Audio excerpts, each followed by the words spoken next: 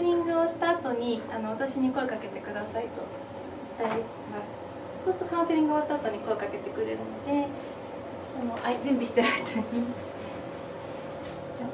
失礼いたします、木澤様カウンセリングはいかがでしたか、はい、なんかちょっと気の良さそうな方で。あ本当ですか？ありがとうございます 安心しました。お色味のお話はバッチリ伝わりました、はい、そうですね。言っといてくださってありがとうございます。かしこまりました。またでは途中でお声かけいたしますので、はい何かありましたらおっしゃってくださいね。はい、ただいま戻ってまいりますので、はいお待ちください。はいはい。っていうのと、あとは放置時間の時にも失礼いたします。はいごゆっくりできてますか？はい、あ。りがとうございます。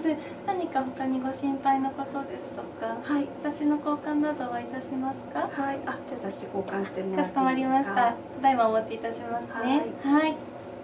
いたします。はいこんな感じです。はい。